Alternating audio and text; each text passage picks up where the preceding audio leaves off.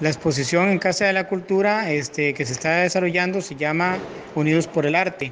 Es una exposición en conmemoración del Festival del Canalete que se va a desarrollar los días 29, 30 y 31 de marzo de este año.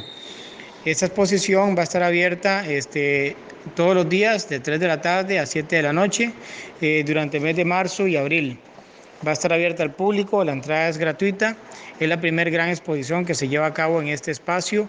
Este, se cuenta con más de 80 obras de arte pintadas por artistas nacionales, artistas internacionales y también, por supuesto, artistas locales.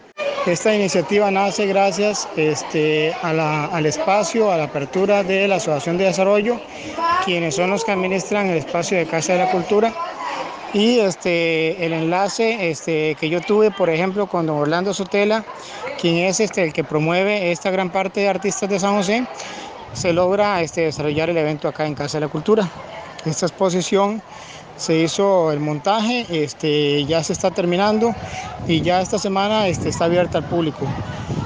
Eh, don Orlando Sotela promueve la Galería Antígono este, con artistas este, nacionales e internacionales y yo este, estoy aportando acá también con una marca que creamos que se llama Expo Costa Rica Artur, la cual es una marca para hacer eventos locales y entonces yo estoy colaborando con los artistas locales también en conjunto con la, exposición acá en Casa de la Cultura.